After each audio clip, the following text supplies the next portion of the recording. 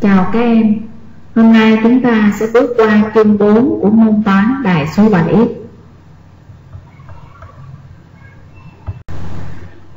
Chúng ta tìm hiểu bài số 1 Khái niệm về biểu thức đại số. Phần thứ nhất, Cô sẽ nhắc lại về biểu thức mà các em đã học ở lớp dưới. Các số được nối với nhau bởi dấu các phép tính cộng trừ nhân chia nâng lên lũy thừa, làm thành một biểu thức. Rồi chúng ta sang phần số 2 khái niệm về biểu thức đại số.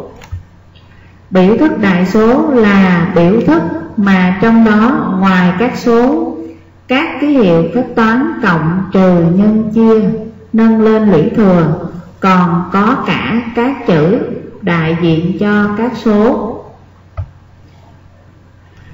sau này biểu thức đại số người ta còn hay gọi tắt là biểu thức. Vậy ở đây à, chúng ta có các cái ví dụ về biểu thức. Rồi các em xem các cái ví dụ.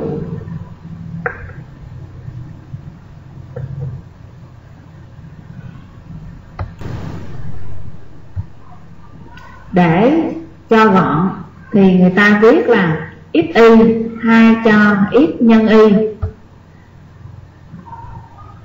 4x thì thay cho 4 nhân x x thì thay cho 1 nhân x trừ xy thì thay cho trừ 1 nhân cho xy ta sẽ viết biểu thức thông qua ví dụ thực tế sau. Ví dụ thứ nhất viết biểu thức, biểu thị diện tích của hình chữ nhật có chiều dài hơn chiều rộng 2 cm như vậy các em nhìn lên cái hình vẽ. Trên đây chúng ta có một cái hình chữ nhật có chiều rộng là a cm chiều dài hơn chiều rộng 2 cm như vậy chiều dài sẽ là a cộng 2 cm vậy thì ta có cái biểu thức, biểu thị, diện tích của hình chữ nhật là dài nhân rộng. Như vậy là mình sẽ có được là a nhân mở ngoặc a cộng 2 chúng ta sang ví dụ thứ hai. Viết biểu thức đại số, biểu thị, quãng đường đi được sau x giờ của một ô tô đi với vận tốc là 30 km h như vậy ở đây ta yêu cầu mình viết biểu thức, biểu thị quãng đường. Mà chúng ta biết công thức tính quãng đường thì bằng vận tốc nhân cho thời gian. Như vậy thì biểu thức, biểu thị quãng đường là 30 là vận tốc nhân thời gian là x. Như vậy là 30x chính là cái biểu thức cần tìm. Rồi, ở đây, x là thời gian thì thời gian có thể là thay đổi. À, có khi thì ô tô đi được một giờ hoặc là hai giờ hoặc là ba giờ cho nên nó có thay đổi nó biến đổi cho nên cái ít ở đây người ta gọi là biến số. Như vậy trong biểu thức đại số những chữ đại diện cho một số tùy ý thì được gọi là biến số và gọi tắt là biến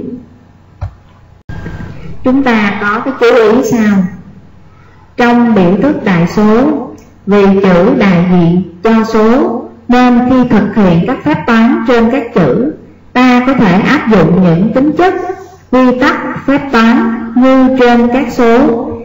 Chẳng hạn à, có cái tính chất là giao hoán của phép toán cộng à, giao hoán của phép toán nhân và nâng lên lũy thừa à, tính chất kết hợp của phép toán cộng tính chất kết hợp của phép toán nhân à, phép nhân phân phối đối với phép cộng à, quy tắc dấu ngoặc vân vân. Các biểu thức đại số có chứa biến ở mẫu chẳng hạn như hai ví dụ trên thì chúng ta chưa được xét đến trong chương này chúng ta sẽ tìm hiểu à, khi ta học à, lớp 8 như vậy vừa rồi cô đã hướng dẫn các em tìm hiểu xong bài định thức đại số.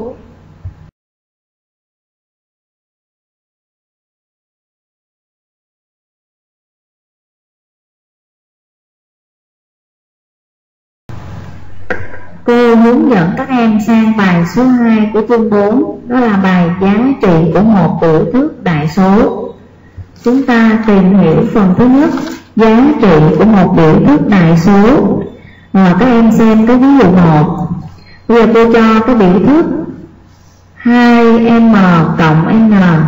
Ờ, à, cô yêu cầu là gì? Hãy thay m bằng 9 và n bằng 0,5 vào biểu thức đó rồi thực hiện phép tính. Rồi các em xem cô giải nha giờ cô thay m bằng 9 và n bằng 0,5 vào biểu thức đã cho thì ta được 2 nhân 9 cộng 0,5 thì ta tính là bằng 18,5 các em lưu ý nha trong cái biểu thức 2m cộng n thì số 2 là chúng ta ghi lại. Còn m là 9 thì thay cái chữ m là bây giờ là số 9 do ở đây số nhân với số cho nên ta phải ghi cái phép tính nhân và dấu chấm luôn. Rồi cộng cho n vậy n của mình là 0,5 cho nên chữ n bây giờ ta bỏ đi ta thay thành 0,5 rồi kết quả cuối cùng là 18,5 như vậy thì khi đó ta nói 18,5 chính là giá trị của biểu thức 2m cộng n tại m bằng 9 và n bằng 0,5 như vậy muốn tính giá trị của một biểu thức đại số ta phải làm như thế nào? Như vậy giống như ở ví dụ 1 để tính giá trị của một biểu thức đại số tại giá trị của biến biết rồi thì ta phải làm như thế nào?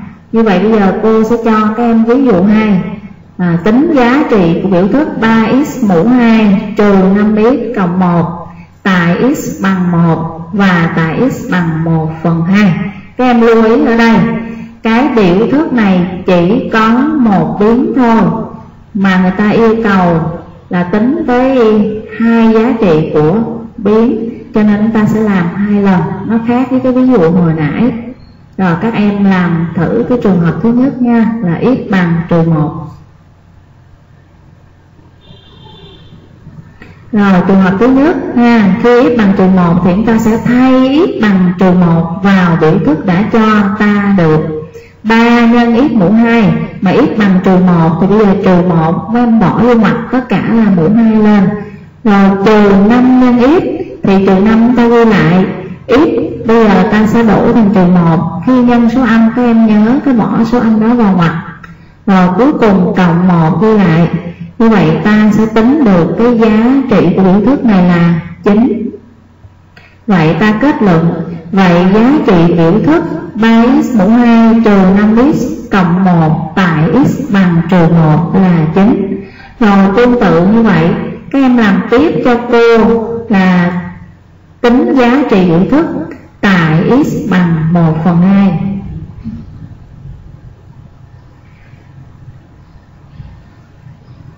Rồi, các em xem bài giải ha. Vậy thay x bằng 1 phần 2 vào biểu thức đã cho ta được. 3 nhân x mũ 2 thì bây giờ x của mình là 1 phần 2 Như vậy x mũ 2 sẽ là 1 phần 2 tất cả mũ 2 Có nghĩa là 1 phần 2 các em phải bỏ vô mặt mới được lấy mũ 2 và trừ 5 nhân x Vậy trừ 5 ghi lại, nhân x Bây giờ x chúng ta sẽ đổi thành 1 phần 2 Rồi cuối cùng cộng 1 như vậy chúng ta sẽ tính được cái giá trị này sẽ là trừ 3 phần tư. Như vậy chúng ta sẽ kết luận. Vậy giá trị của hữu thức 3x mũ 2 trừ 5x cộng 1 tại x bằng 1 phần 2 là trừ 3 phần 4 như vậy qua hai cái ví dụ trên chúng ta đã định hướng được cái cách tính giá trị của một biểu thức đại số, tại những giá trị của biến. Thì à, từ đó ta rút ra cái cách tính như sau. Để tính giá trị của một biểu thức đại số tại những giá trị cho trước của các biến, ta thay các giá trị cho trước đó vào biểu thức, rồi thực hiện các phép tính. Như vậy bây giờ tôi sẽ tóm gọn lại tính giá trị của một biểu thức đại số để các em dễ làm bài. Bước thứ nhất, thay các giá trị của các biến vào biểu thức và bước thứ hai, thực hiện phép tính. Và bước thứ ba, chúng ta sẽ trả lời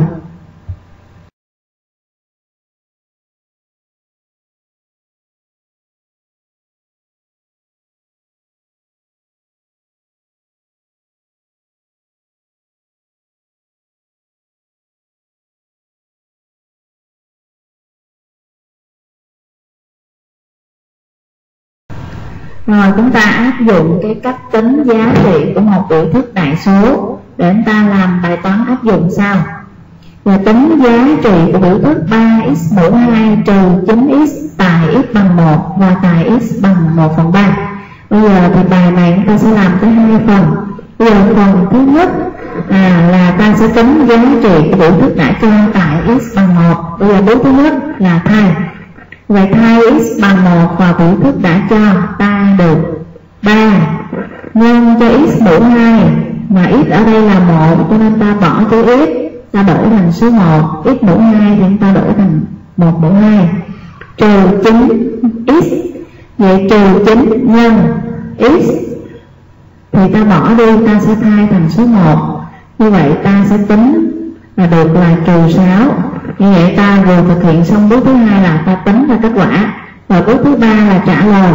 Vậy giá trị biểu thức 3x mũ 2 trừ chấm x tại x bằng 1 là trừ 6 và tương tự, chúng ta sẽ tính giá trị biểu thức tại x bằng 1 phần 3 như vậy làm bước thứ nhất là bước thay.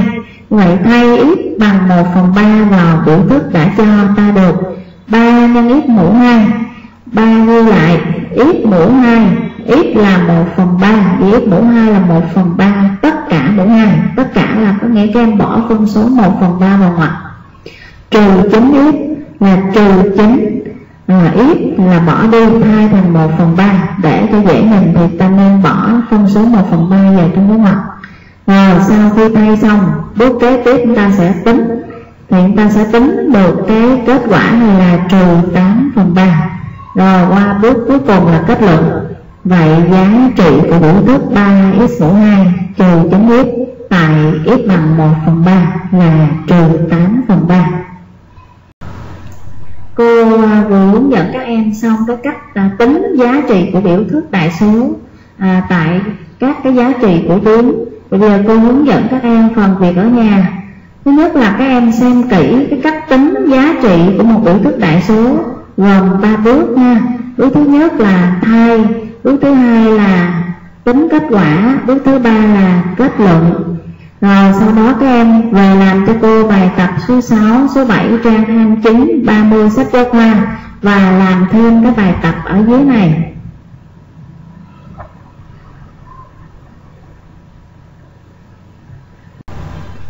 Cô đã hướng dẫn các em xong hai bài học của chương số 4 phần đại số 7. Bài thứ nhất khái niệm biểu thức đại số, bài thứ hai giá trị biểu thức đại số. Nếu chỗ nào các em chưa theo dõi kịp, hãy tu lại để xem thêm lần nữa. Nếu chỗ nào chưa hiểu, các em hãy trao đổi thêm với thầy cô bạn bè nhé. Cô tạm biệt các em.